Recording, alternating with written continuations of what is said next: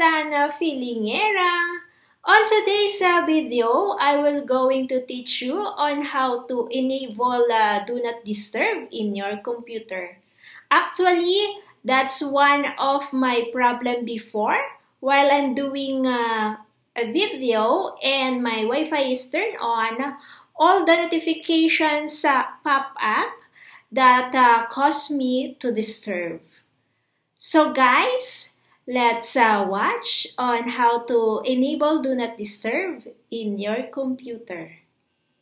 So guys, if you can see, there are notifications uh, from the uh, YouTube channel that I subscribe because the my YouTube channel was open in this computer. So, and also my Wi-Fi is on. So let's uh, see later if uh, the if we enable the do not disturb ay mawawala tong mga notifications na to. So first we will going to click uh, the Apple sign because my computer was produced by Apple so we will click it we will click it and then click the system uh, preferences and uh, click the so let's uh, move it we will click the notifications. And then if you can see it here, the do not disturb. So we'll click that.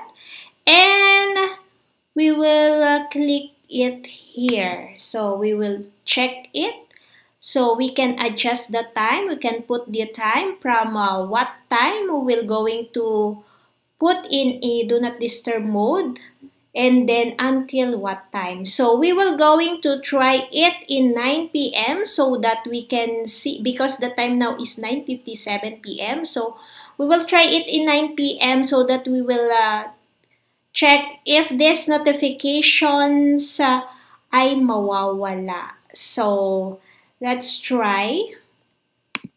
See guys no more notifications in my screen So my uh, video will uh, not uh, disturb anymore of that uh, pop-up messages.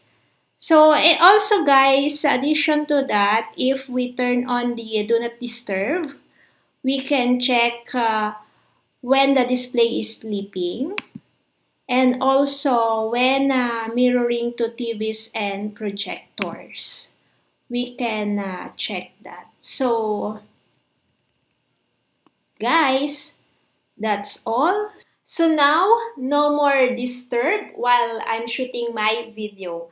I hope you learned something from this video and don't forget to subscribe to my channel and click the notification bell for more tutorial videos. Thank you for watching. Bye!